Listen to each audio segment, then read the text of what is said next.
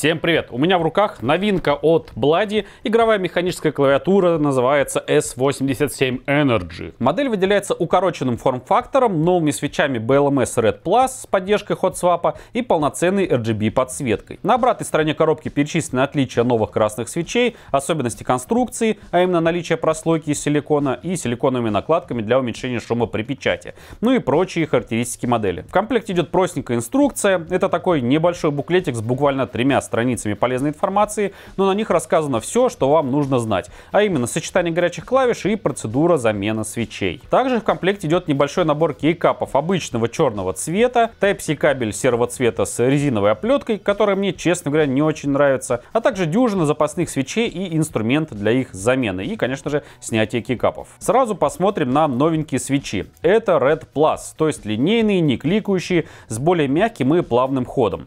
Конечно же, при желании вы сможете можете установить свои любимые свечи, но в принципе лучше сразу изначально брать клавиатуру с подходящими вам свечами, чтобы не заниматься самодеятельностью. Теперь посмотрим на саму клавиатуру. Ну и в первую очередь предлагаю посмотреть на нее снизу. Тут мы видим гнездо Type-C для подключения кабеля и три канала для вывода кабеля вперед или в бок, влево или вправо. Еще один плюс — двойные ножки. То есть можно выставить угол наклона поменьше или побольше. Вроде как это 3,8 градусов. Также есть фиксированные резиновые ножки и учитывая немалый вес клавиатуры, по столу она совсем не елозит. Эта модель относится к формату TKL, то есть тут не полноразмерная раскладка, тут нет цифрового блока, а клавиш всего 97, плюс фирменная клавиша Bloody для программирования макросов. Единственное, что меня прям сильно смущает в раскладке, так это ряд клавиш F1 и F12, в котором нет привычных разделений на три группы. То есть, например, между клавишей F4 и F5 нет пространства. Они отличаются лишь цветом, который на ощупь, естественно, не разглядишь. В остальном все стандартно, поэтому привыкаешь быстро. Кейкапы двойного литья простенькие, часть клавиш красные геймерские, при желании их можно заменить на черные. Конечно, минусом для кого-то будет э, то, что символы на клавиатуре даже с включенной подсветкой днем достаточно плохо различимы,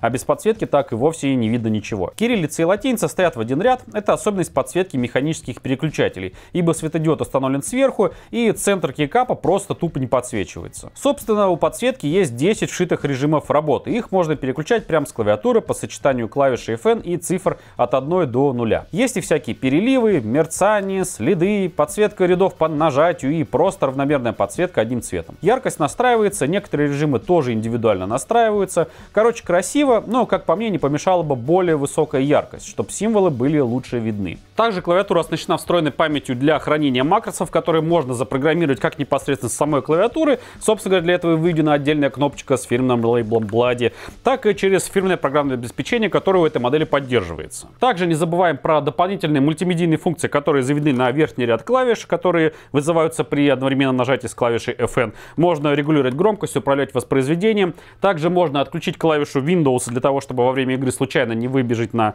рабочий стол. Ну и наконец мы подошли к самому интересному, к тому же, как эта клавиатура звучит при печати.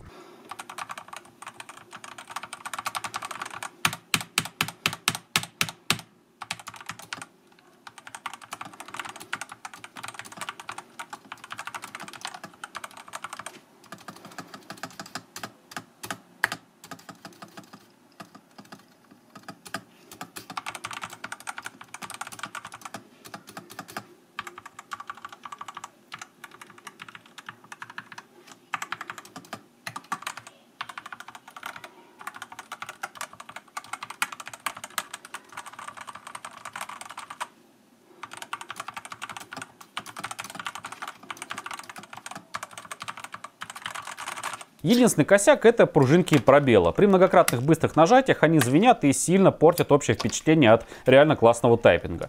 С другой стороны, при обычной печати их звон не слышен, только если прям специально быстро бить по пробелу. Но смазка явно бы им не помешала, да и самим свечам также, ибо иногда металлический звон пружин все же прорывается.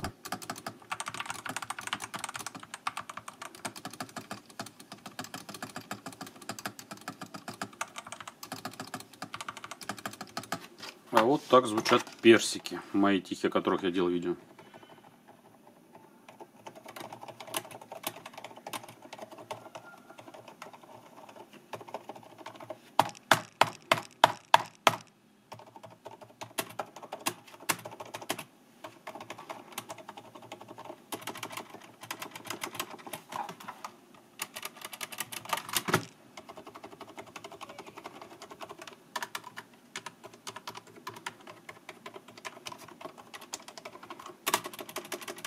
А вот так звучит достаточно громкая мембранка.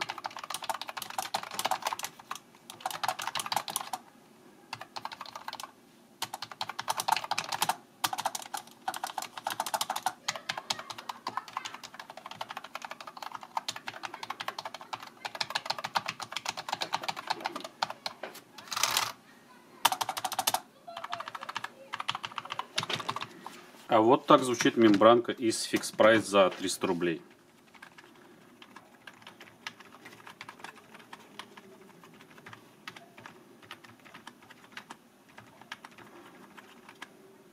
Итак, что имеем по итогу? Ну, во-первых, на мой взгляд, Блади все-таки потихонечку движется вперед, потому что Hot Swap, э, новые механические э, свечи очень неплохие, шумоизоляция практически такая же конструкция, как в модели S98. То есть, в принципе, чувствуется прогресс. Да, понятно, что кто-то может сказать, что прогресс мог бы быть гораздо более быстрым, не такими мелкими шажками двигаться. У многих конкурентов за подобные деньги можно найти модели с более качественными свечами, с более качественной шумоизоляцией и еще более приятным тайпингом.